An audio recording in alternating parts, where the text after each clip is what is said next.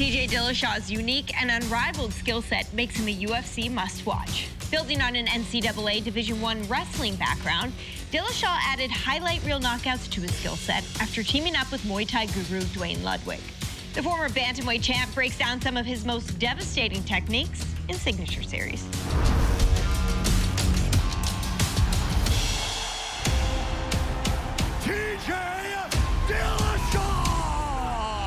My fighting style, it's very unorthodox. This kid is something special. The way he moves. And has evolved over the years of uh, me being an MMA fighter.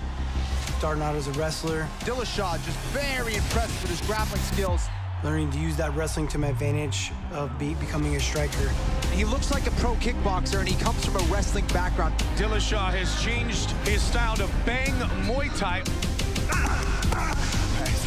When Duane Ludwig became my head coach, it really developed my striking to be comfortable and be able to fight in both stances.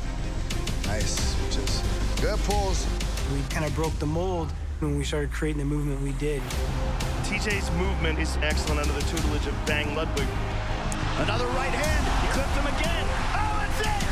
Dillashaw just a different level, man.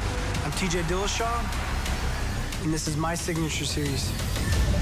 First move, the switch.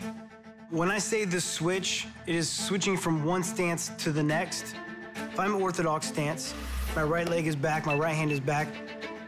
You hit your feet and switch really fast. Use that momentum of coming forward and switch to southpaw. I'm using it to get a new angle, getting yourself off the tracks, getting your foot outside, and confusing your opponent. What I love about the switch is disguising techniques. Hiding switch kicks. Switching of directions there and landing that kick. Hiding takedowns. Look at that beautiful takedown by TJ. I like to have four, five, six, seven different finishes to the same switch. Dillashaw looking to finish his fight. One of my favorite combos I've hit in a fight is when I knocked out Joe Soto. Here we go! I hit a combo, ripped the liver, which is a body shot, and as I did that, I got outside of his power, switching my stance, and then right back on him from the southpaw stance, cross, hook, cross, and after that cross, I step forward again into my orthodox stance, and I was able to cut him off with my power right head kick to finish the fight. Setting up this combination, and there, boom, there's the head kick. Beautiful job by TJ Dillashaw. Next up is the right hook because MMA is so much of a further distance than boxing, my right hook comes more from a longer range kickboxing style. Power from my right hook comes from rotation and core strength. I bring that rear hip, and as it lands, I want to follow all the way through. I like to get my head off the tracks, off the center line. I like to have my foot outside most of the time. But if I could be hitting a drag step where I'm coming inside his stance. I can even hit like a split step where I step my front foot back as I'm hitting my right hook. So different times in different foot placement for every situation. A great setup to throw your right hook, no matter the stance you're in, is throwing a lot of straight punches. Getting them to start thinking you're punching down the middle and then reach around to come around the corner.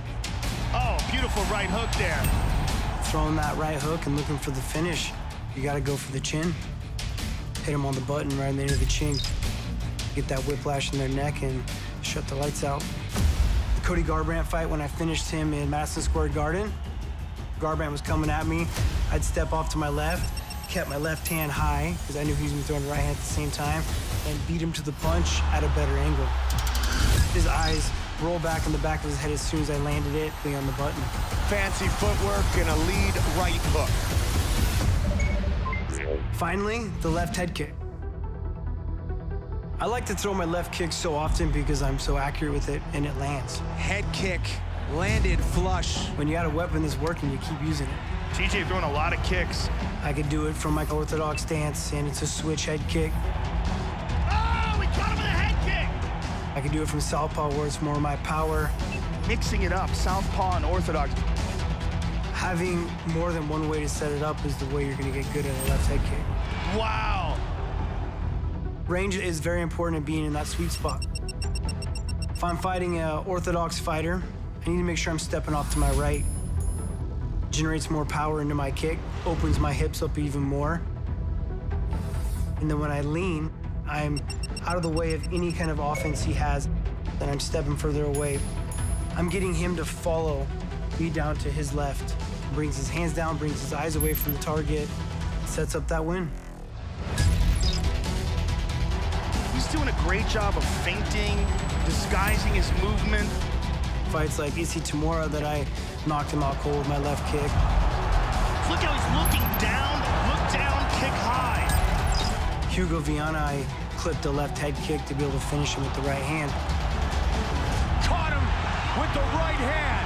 He caught him with a kick just before that. Great diversion for uh, hitting your left head kick is getting someone comfortable with your jab.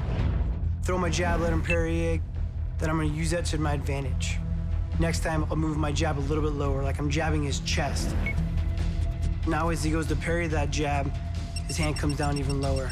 And now it gives me that split second to hit my switch left head kick at the same time.